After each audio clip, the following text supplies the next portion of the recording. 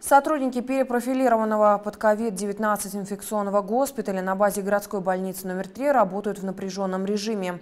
На сегодняшний день проходит здесь лечение 18 больных коронавирусом, нуждающихся в стационарном лечении, другие пациенты с внебольничной пневмонией.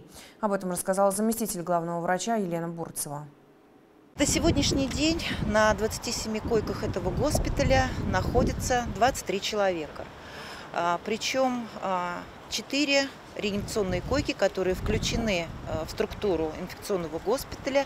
Их у нас 6 коек. Так вот на 4 койках находятся пациенты, которые нуждаются в активной ЭВЛ искусственной вентиляции легких. Больше 80% пациентов, которые находятся в отделении, это пациенты а, с различными формами внебольничных пневмоний. Большинство из них двусторонние пневмонии.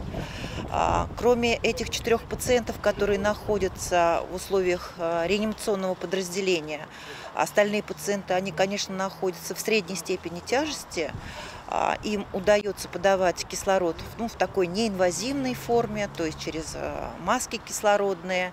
А, но, тем не менее, уже все, наверное, понимают, что инфекция достаточно грозная, достаточно контагиозная, то есть легко очень передается. И в обязательнейшем порядке нужно соблюдать все меры предрасположенности, чтобы ни в коем случае не попасть, да, в развернутый, да, способный принимать пациентов, но все-таки госпиталь для очень серьезной инфекции.